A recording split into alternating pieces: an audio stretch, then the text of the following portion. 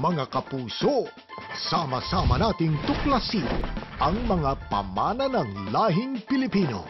Pamana number 305.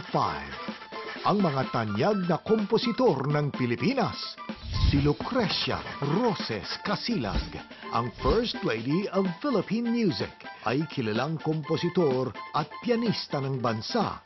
Binirang na National Artist of Music noong 1989. Ang kanyang mga tanyag na komposisyon tulad ng Ang Pamana, Legend of Sarimanok at East Meets Jazz Ethnica ay kinilala sa pagsanib ng musikang kanluranin at mga katutubong instrumento.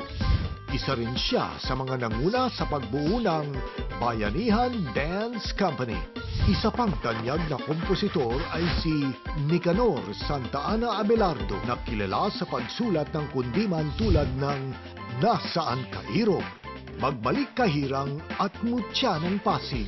Bilang pag-alala, ipinangalan sa kanyang main theater ng Cultural Center of the Philippines at ng College of Music Building ng Universidad ng Pilipinas.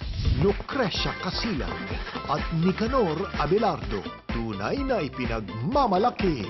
Kaya tutok lang at alamin ang iba pang natatanging pamana ng ating lahi.